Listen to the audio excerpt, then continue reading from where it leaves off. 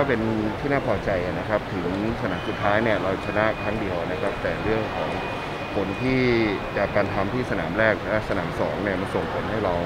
เข้ารอบแปดทีมได้เราก็พอใจนะครับ เป็นเรื่องที่ดีสำหรับเรานะครับบรรยากาศการแข่งขันความกดดันอุปสรรคมากน้อยแค่ไหนยังไงครับหลีกเลี่ยงไม่ได้หรอกครับนะครับ เรื่องการแข่งขันเป็นเรื่องปกติ แล้วก็เด็กเราเนี่ยค่อนข้างที่จะพูดง่ายๆว่าเราเซตเกมใหม่นะครับ เซตทีมใหม่มันเป็นเรื่องปกติที่เราต้องเจอความกดดันหรืออุปสรรคเข้ามาเกี่ยวข้อง ไม่ว่าจะเป็นเรื่องโควิดเองเรื่องของร่างกายเองนะครับ ก็ต้องขอบคุณนะครับนักกีฬาเองทีมงานเองที่ช่วยกันนะครับฝ่าฟันให้ผ่านพ้นมาได้ครับรอบ 8 ทีมสุดท้ายคาดหวังแล้วก็เตรียมทีมยังไงบ้างครับ เราก็ต้องเน้นเรื่องของการฟื้นร่างกายก่อนนะครับอันดับแรกนะครับ แล้วก็ เตรียมการเรื่องของการวางแผนเล่นกับตุรกีให้ดีนะครับ ส่วนตุรกีเนี่ยเป็นทีมที่ดีอยู่แล้วนะครับคะแนนเขาระดับต้นๆสัปดาห์ล่าสุดเล่นอเมริกาก็เล่น 5 เซตนะครับ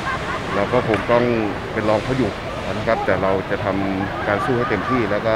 เตรียมแผนเพื่อจะสู้เขาให้เต็มที่ครับมีเอ่ออาการบาดเจ็บของใครที่ยังน่าเป็นห่วงหรือมีไม่มีครับผมไม่มี ก็ล้าครับเป็นเรื่องปกติครับบาดเจ็บไม่มีครับ โค้ชอยากฝากบอกอะไรกับแฟนบอลชาวไทยครับ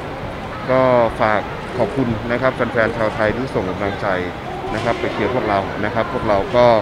ทำให้เต็มที่นะครับ แล้วก็ฝากเชียร์เราต่อในรอบไฟ final แปดนี้นะครับผมโอเคครับครับขอบคุณครับ